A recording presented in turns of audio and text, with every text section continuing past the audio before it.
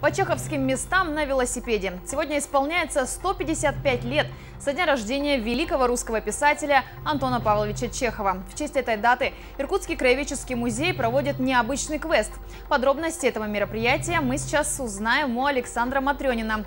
Александр, здравствуй еще раз. Расскажи, где ты находишься и в чем суть этого квеста.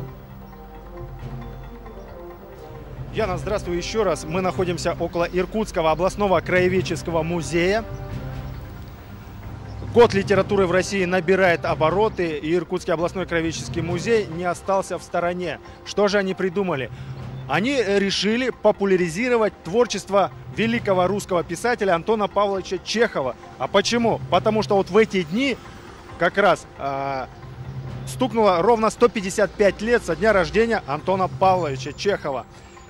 Ну, ладно бы юбилейная дата, но еще то, что Антон Павлович Чехов – во время следования на Сахалин проездом побывал в Иркутске. Он находился где-то около недели. И за эту неделю посетил много мест в Иркутске. Что придумали сотрудники музея? Они решили провести квест, велоквест, то есть на, велосипеды, на велосипедах команды должны будут проехать по всем местам, где побывал Чехов. Чехов плюс Иркутск. Вы можете видеть, что вот здесь проходит регистрация участников. Всего будет три команды, которые будут э, участвовать в соревнованиях. Они должны будут э, получить задание, там будет 10 точек. Всей команды, в команде 3-5 велосипедиста будет. Они должны будут по отдельности или вместе проехать по всем 10 точкам, э, найти коды, занести себе в путевой лист, и потом уже кто быстрее справится с заданием, тот и победит. Три призовых места. Без подарка никто не останется. Имеются спонсоры у этого велоквеста. И на все вот на, на прохождение велоквеста отводится 3 часа. Вообще, э, открою маленький секрет. Пять лет назад, 150-летие, когда Чехова было, организовали экскурсию по тем местам, где был Антон Павлович. И вот пять лет спустя по этой экскурсии пройдет велоквест. Поинтересоваться, как выбирались точки для велоквеста, я хочу у сотрудника музея. А, представьтесь, пожалуйста. Ануфриев Александр, начальник отдела Иркутского областного краеведческого музея. Александр Валерьевич, по какому принципу вы выбирали точки?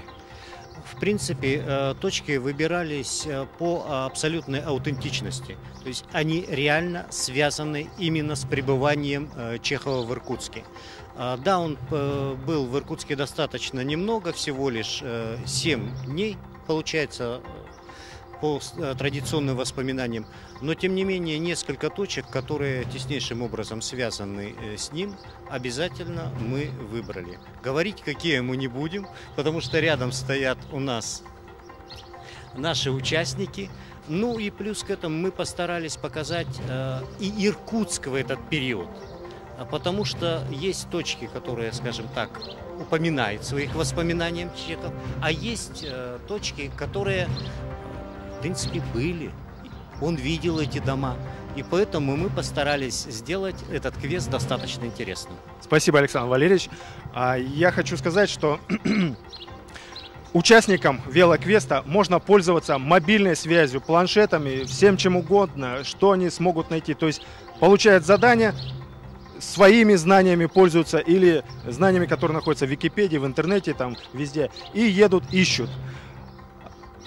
Хочу вот спросить одного из участников. Александр, как вы готовились к этому велоквесту?